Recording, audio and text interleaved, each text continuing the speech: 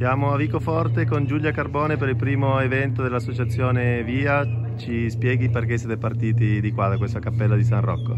Siamo partiti da qui perché qui ci sono le mie radici a Vicoforte, io vengo da qui, sono stata tanto fuori e adesso volevo fare qualcosa per il territorio mio, il Monregalese. Noi cerchiamo delle strutture rurali che sono conosciute oppure sconosciute, le vogliamo arricchire di interventi d'arte, intesa in tutte le discipline, in particolare l'arte contemporanea. Questa è la prima installazione d'arte site specific permanente sul territorio, Miracle di Emilio Ferro. Ha una valenza uh, simbolica particolare questo posto e diciamo che l'opera di Emilio la rispecchia, però poi um, Emilio penso che vi parlerà meglio di, della sua intenzione, dell'opera che ha realizzato.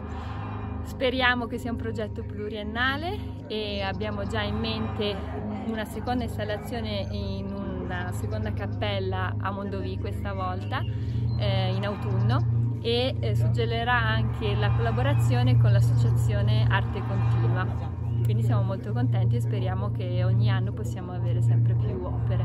Grazie, in bocca al lupo. Grazie.